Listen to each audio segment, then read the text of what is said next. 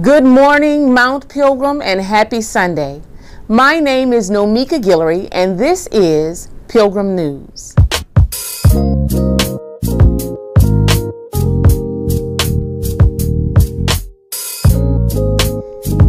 There will be no midweek services due to the Thanksgiving holiday. Please enjoy your family, and we will see you next week for midweek services. Good morning, family. This is Pastor E, and I want to tell you thank you for your continued faithfulness in giving. Um, because of your uh, giving, we were able to bless so many uh, families here in our community uh, on today.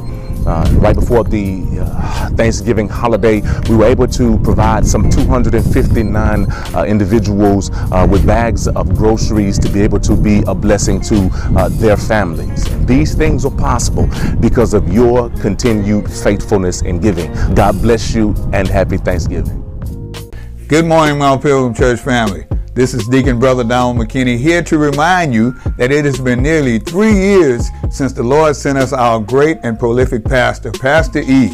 We'll be celebrating his third year anniversary on the first Sunday in December at 11 a.m. worship service. Our guest speaker will be Pastor Mark Lewis of Mount Calvary Baptist Church. Now, we want to show our pastor some love he and his family because he has been so great here at Mount Pilgrim. We want to remind you to come out on the first Sunday in December to celebrate our pastor's third year anniversary. God bless you. Tis the season to be thankful.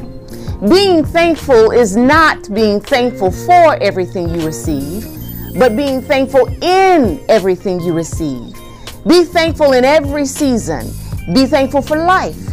Be thankful for food, housing, for family, and people around you who love you. And we want to send a very happy Thanksgiving to all of you from us here at Mount Pilgrim.